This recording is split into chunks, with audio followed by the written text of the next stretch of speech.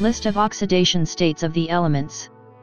This is a list of known oxidation states of the chemical elements within chemical compounds, excluding non-integral values. The most common states appear in bold. The table is based on that of Greenwood and Earnshaw, with additions noted. Every element exists in oxidation state 0 when it is the pure non-ionized element in any phase, whether monatomic or polyatomic allotrope. The column for oxidation state 0 only shows elements known to exist in oxidation state 0 in compounds. The format of the table, which was devised by Dmitry Mendeleev in 1889, shows the periodicity of the oxidation states of the elements. A figure with a similar format was used by Irving Langmuir in 1919 in one of the early papers about the octet rule.